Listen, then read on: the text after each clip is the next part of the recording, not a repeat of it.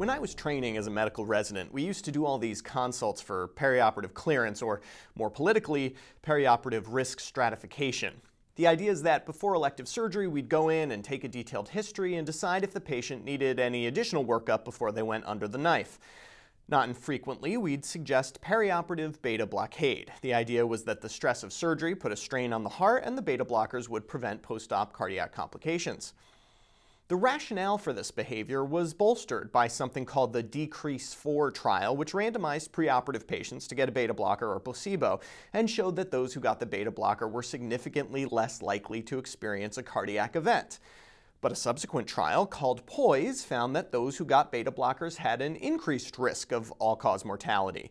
It also emerged that the DECREASE trial had serious ethical flaws and that some of the data may have been fabricated. Still, the biologic rationale is there, so what do we do? Well, a paper appearing in JAMA Internal Medicine attempts to answer this question, albeit in a very roundabout way. Let's see if we can get there. Danish researchers used that country's impressive electronic health record database to identify 55,320 individuals who underwent non-cardiac surgery between 2005 and 2011. This number excluded anyone with any sort of heart disease, though all of the patients had hypertension. In fact, they were all taking at least two antihypertensives, which makes this a rather unique cohort to begin with.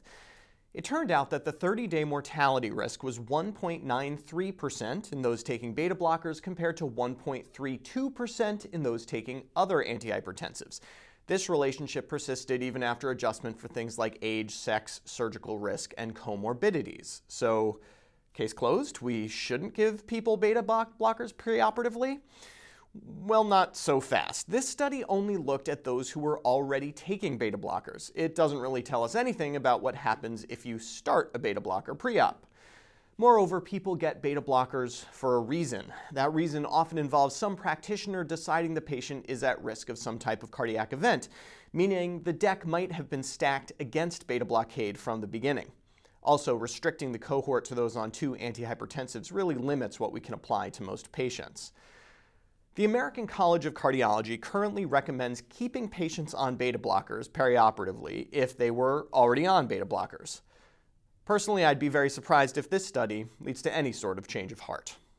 For MedPage Today, I'm Perry Wilson.